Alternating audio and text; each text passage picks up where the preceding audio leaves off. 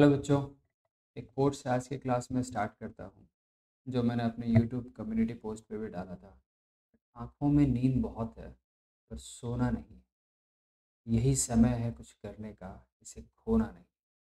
तो एग्ज़ामिनेशन में आपको पता है कि हार्डली जो है वो अब हमारे पास लगभग 25 दिन के आसपास का टाइम बचा हुआ है।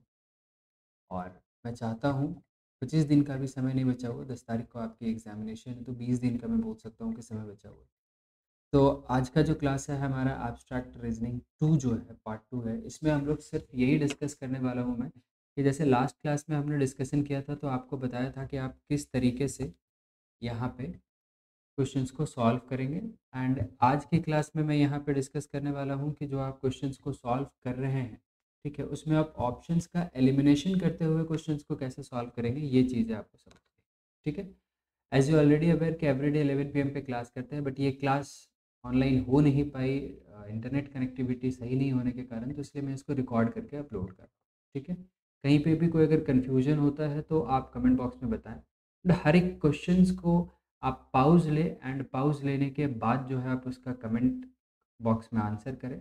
या आप अब खुद से आंसर्स अपने कॉपी में लिखे फिर चेक करें कि सही आंसर्स उसका क्या ठीक है?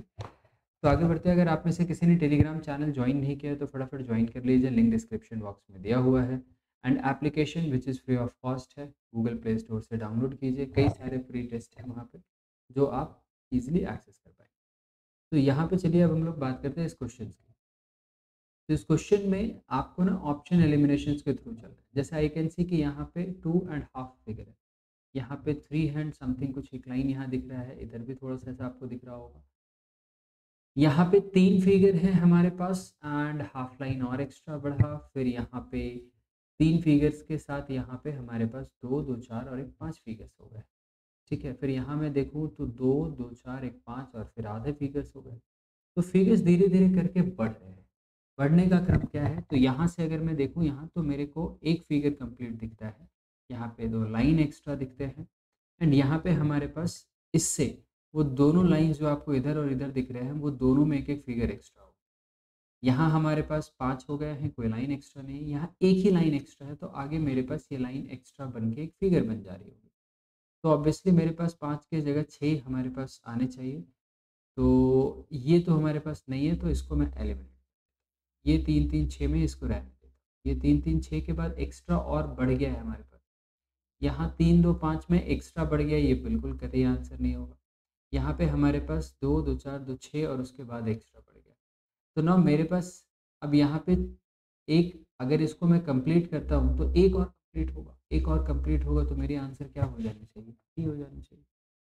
अरे बात समझ में तो ऑप्शन को एलिमिनेट करते हुए हम लोग सवालों को देखते हुए चलेंगे जहाँ कहीं पे भी आप मेरे आंसर से इत्तेफाक नहीं रखते होंगे, वहाँ पे आप मुझे बताइएगा। टाइम लाइन को कोट करते हुए कि किस लाइन लाइन में आप इत्तेफाक नहीं रखते हैं आंसर क्या होना चाहिए? एंड उसके पीछे का एक सॉलिड रीजन भी आपका बताते हुए वहाँ पे चलिए, ठीक है? आगे बढ़ते हैं। इस क्वेश्चंस की अगर मैं बात करूँ तो यहाँ पे हमारे पास यहाँ और यहाँ दोनों सेम है, बस ऑपोजिट हो गया। यहाँ और यहाँ सेम है ऑपोजिट हो गया। तो अगर यहाँ है सेम होगा ऑपोजिट होगा तो इसका मतलब this will be something like this तो आई कैन से कि option A, option B and option D cannot be our answer. Now we are left with C and D. अब सी एंड डी को गौर से अगर ध्यान से देखोगे तो आपको लगेगा कि सिर्फ़ सी और ए में कोई डिफरेंस नहीं है। एक्चुअली कोई डिफरेंस नहीं है। तो या तो आप आंसर सी को बोले या तो ई को बोले कोई फ़र्क नहीं पड़ता। कुछ डिफरेंस होता तो फिर आगे हम डिफ्रेंशिएट कर रहे हैं। ठीक है? मूविंग अहेड अब ऐसे जहाँ है ना क्वेश्चंस आपके पास आ जाते हैं। किसी एक दो का पैटर्न ढूँढने का कोशिश कीजिए कि किस तरीके से वो अपनी पोजीशंस को चेंज कर जैसे सपोज़ कीजिए कि अगर मैं यहाँ पे स्टार मार्क को देखूँ तो स्टार यहाँ से एंटी क्लॉकवाइज डायरेक्शन में एक पोजीशन फिर एंटी क्लॉकवाइज में एक पोजीशन फिर एंटी क्लॉकवाइज में एक पोजीशन फिर एंटी क्लॉकवाइज में एक पोजीशन तो दैट मीन्स वट यहाँ के बाद वो वापस एंटी क्लॉकवाइज में अगर चलेगा तो यहाँ पे आएगा इस पोजीशन पे या ये वाली जो हमारे पास पोजीशन है, उस पोजीशन पे पहुँच जाएगा। तो इस पोजीशंस पे ए में नहीं है एलिमिनेट सी में नहीं है एलिमिनेट ई e में नहीं है।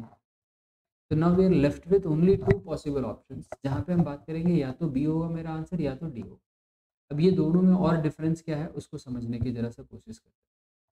तो मैं ज़रा देखता हूँ कि क्या सारी चीज़ें बाकी सेम ही चल रही है हमारे पास। ये और ये चीज़ें सेम है तो उसको चेंज करने की ज़रूरत नहीं है हमारे पास। और मुझे जेड और ट्रायंगल के बीच की बात ज़रा देखनी है। तो यहाँ पे बीच में ओ था फिर ट्रायंगल है फिर जेड है फिर ओ है फिर ट्रायंगल है। तो भाई कुछ भी होगा तो और चेंज हो जाएगा। ट्रायंगल तो नहीं होना चाहिए। तो दैट इज़ वाई मैं ऑप्शन बी को एलिमिनेट कर देता हूँ। And now we are left with only option that is तो कई बार आपको ऐसे आ, सवाल को सॉल्व करते हुए ये भी फील होगा कि सर इसमें समय ज़्यादा लगता है। तो जहाँ नहीं पैटर्न समझ में आता है समय ज़्यादा लगने का संभावना है। ठीक है? तो काइंडली स्कीप दैट क्वेश्चन से मूव कर दीजिए दूसरे क्वेश्चन ठीक है?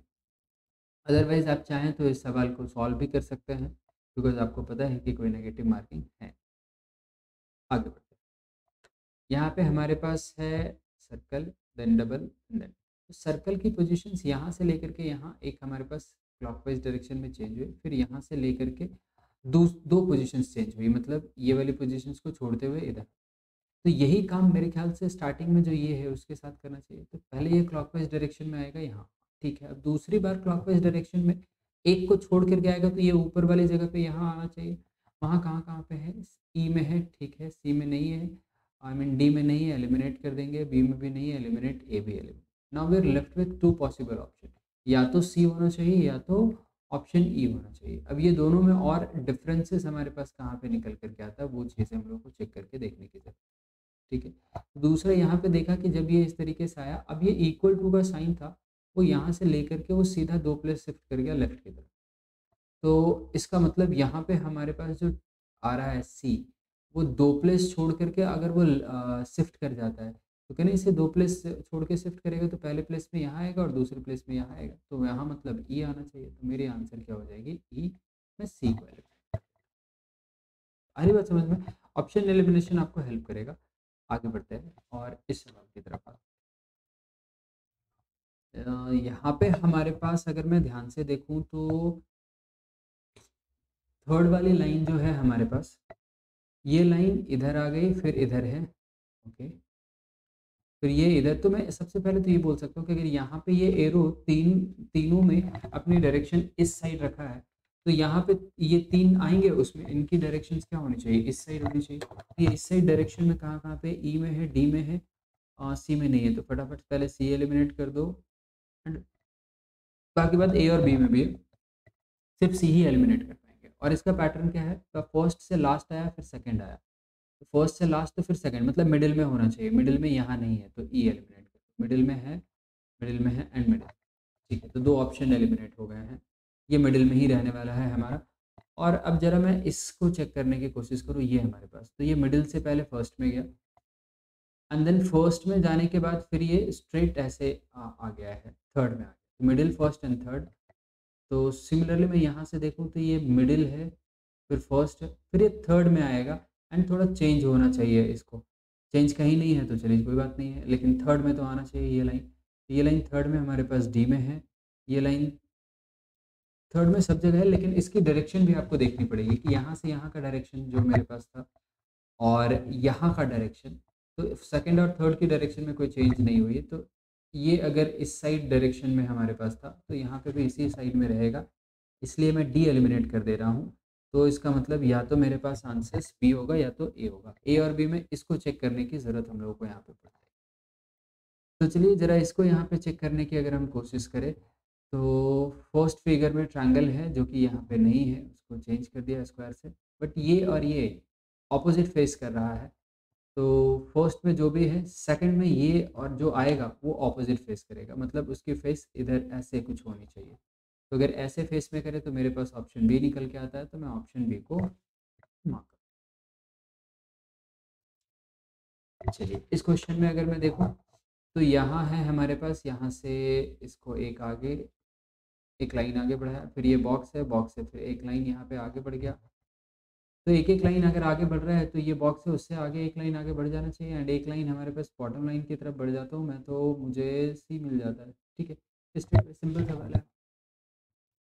आपको क्वेश्चंस को वीडियो को पॉज करके चलना है, क्योंकि लाइव क्लास जब होती है तो मैं आपको टाइम देता हूँ सॉल्व करने के लिए। अब यहाँ पे अननेसेसरली मुझे वेट करने का वीडियो की लेंथ बढ़ाने का कोई सेंस नहीं बनता। तो दैट इज़ वाई मैं कंटिन्यूसली अपने डिस्कशन चालू कर रहा हूँ, रख रहा हूँ। आप अपने वीडियो को पॉज करते हुए आप इसको सॉल्व करें ठीक है? फिर से ऐसे ही हमारे पास आ गया तो यहाँ पे फिर मैं बोलता हूँ क्या कि आप ऑप्शन एलिमिनेशन तो बिल्कुल करना ही और किसी एक दो के पैटर्न ढूँढने की कोशिश कीजिए। जैसे स्टार की पोजीशंस की हमें आ, कुछ दिखाई दे रहा है। हाँ यहाँ से ये एक प्लेस इधर की तरफ़ आया फिर ये एक प्लेस इधर की तरफ़ आया फिर सीधा डायगनली ये हमारे पास अपोजिट हो गया मतलब यहाँ से नेक्स्ट में यहाँ आ गया। फिर ये एक प्लेस इधर की तरफ़ आया फिर ये एक प्लेस इधर की तरफ़ आएगा। तो मतलब राइट हैंड साइड से थर्ड प्लेस पे आएगा थर्ड प्लेस है है है है। बाकी आप देखिए कहीं नहीं है ये स्टार का थर्ड प्लेस तो आप एलिमिनेट कर दीजिए। The only option left is option ज़्यादा कुछ और चेक करने की ज़रूरत नहीं अगर एक, दो से बन जाता नहीं तो फिर धीरे धीरे करके चेक करेंगे। अगर सिमिलरिटीज ज़्यादा सब मिलने लगेगी ऑप्शन में, तब ये काम।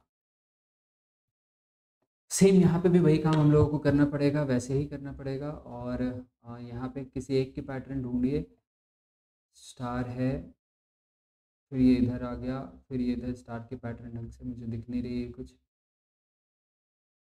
अच्छा सी की पैटर्न आपको दिख रही होगी कि सी यहाँ ऊपर है सी यहाँ नीचे है सी ऊपर है, फिर सी नीचे है, फिर सी ऊपर है तो फिर सी नेक्स्ट में नीचे होना चाहिए। तो सी नीचे यहाँ पे नहीं है, यहाँ नहीं है, यहाँ नहीं है, इन दोनों में सी नीचे। अब इन दोनों में सी नीचे है बट सेंटर वाली चीज़ यहाँ और यहाँ पे दोनों में अलग अलग है। यहाँ एस है, यहाँ बी है जेड है ट्रायंगल है एंड ये मतलब हर बार सेंटर चेंज हुआ जैसा कि एक और पीछे मैं क्वेश्चन करवाया था।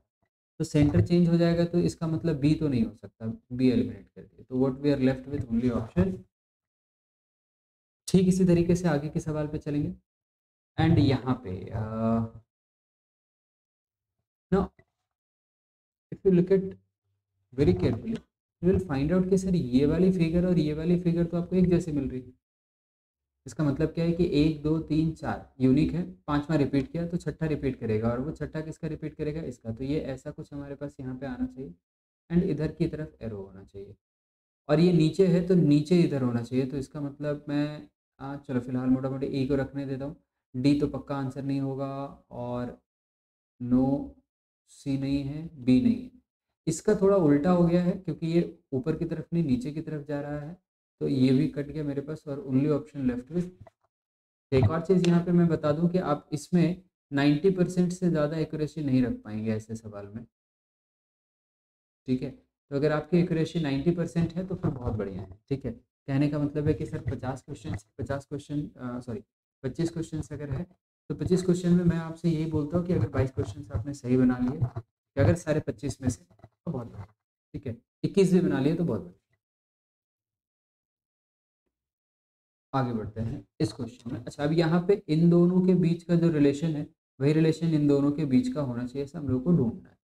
ठीक है?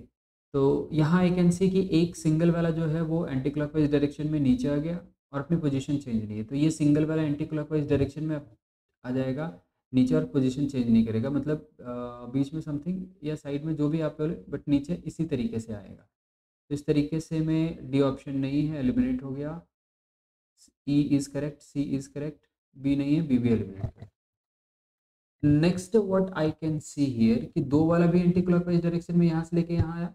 लेकिन जो इसका बॉटम पार्ट वाला आपके पास जो सेमी सर्कल टाइप का दिख रहा है, वो जस्ट उल्टा हो गया कवर हो गया। तो दो वाला में बॉटम वाला अगर कवर हो जाएगा तो इसका मतलब है कि ये ऐसे और ये ऐसे आ जाना चाहिए। ऐसा कहीं पे है? ई e में हमारे पास है। इनफैक्ट सी में भी है ए नहीं है तो ए एलिमिनेट सी और ई e में डिफरेंस हमारे पास तीन वाला जो है, इसी में हमारे पास है। लेट्स सी क्या आता है। तो तीन वाले में अगर मैं यहाँ पे ध्यान से देखूँ तो जो अगर इसको भी एंटी क्लॉकवाइज डायरेक्शन में एक यहाँ पे शिफ्ट किया है सॉरी तीन वाला यहाँ से हमारे पास हाँ इस साइड यहाँ पे शिफ्ट किया है। तो तीन वाला यहाँ पे इसको भी इधर शिफ्ट करेंगे तो पोजिशनिंग में तो कोई इशू नहीं है हमारे पास।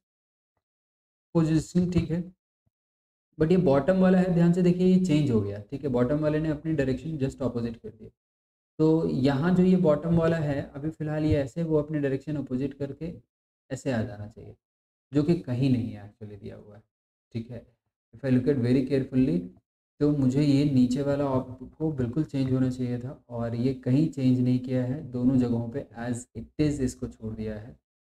तो इसलिए यहाँ पे मेरे मेरे हिसाब से मैं बोलूँगा कि no correct option as per मी ठीक है? रेस्ट आप कमेंट बॉक्स में मुझे बताइएगा कि आपको क्या लगता है।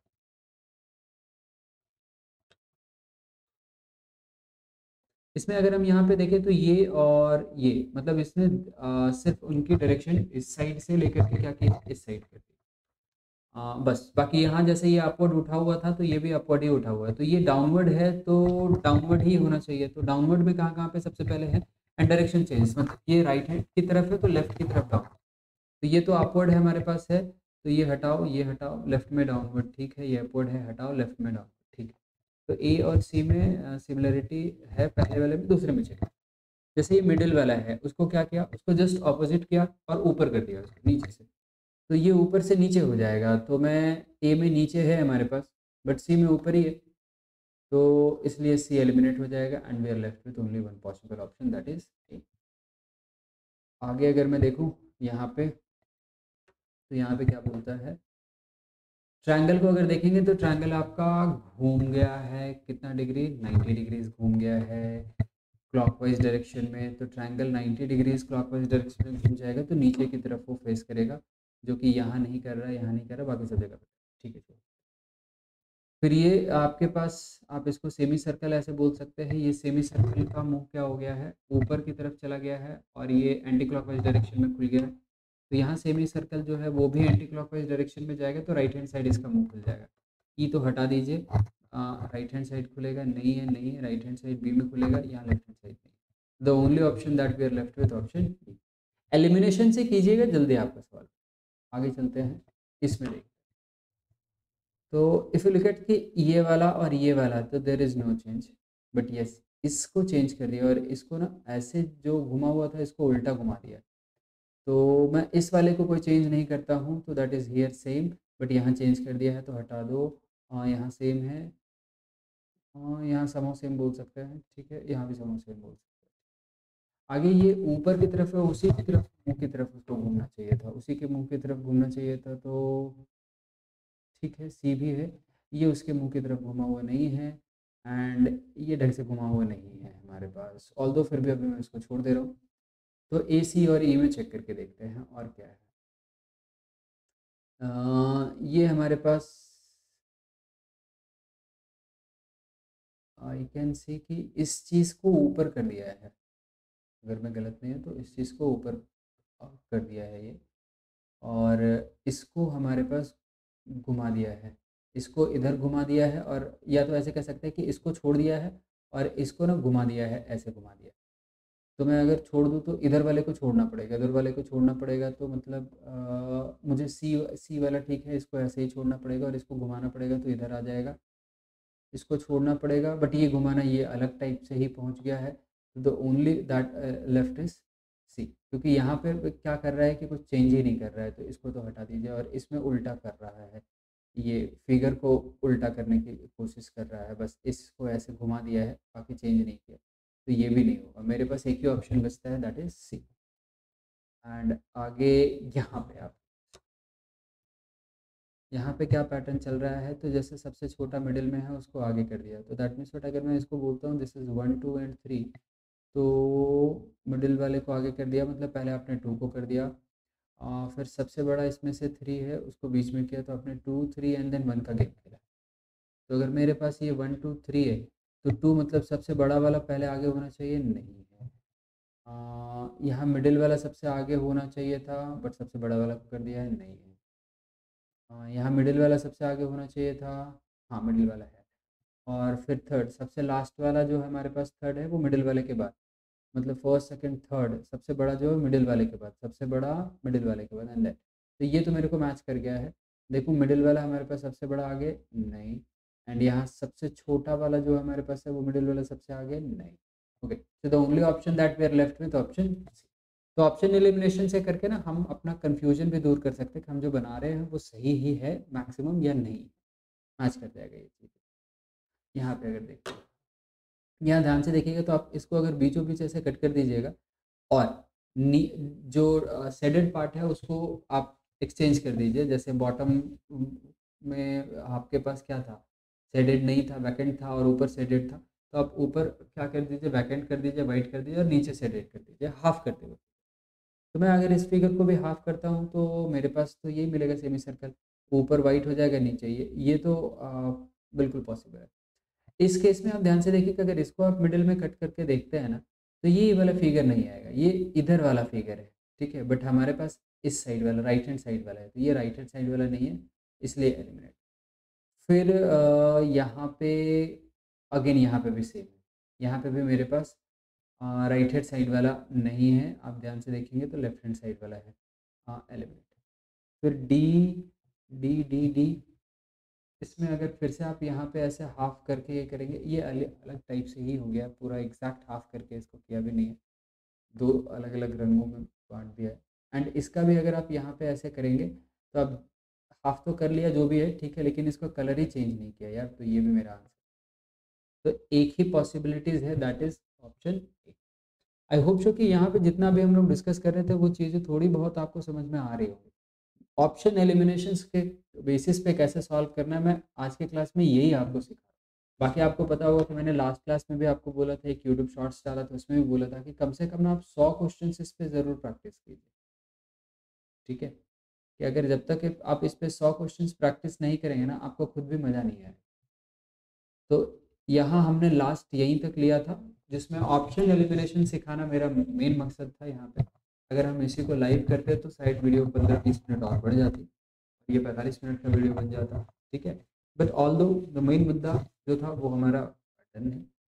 तो आगे की क्लास में हम लोग ऐसे ही कंटिन्यू करते रहेंगे, तब तक के लिए आप प्रैक्टिस करते रहिए so keep learning and happy learning and guys please share करना बिल्कुल मत भूलिएगा वीडियोस को एंड नोटिफिकेशन बेल की आइकन को प्रेस करना बिल्कुल भूलिएगा। ठीक है? ये आपका ज़िम्मेदारी चलिए सी यू बाय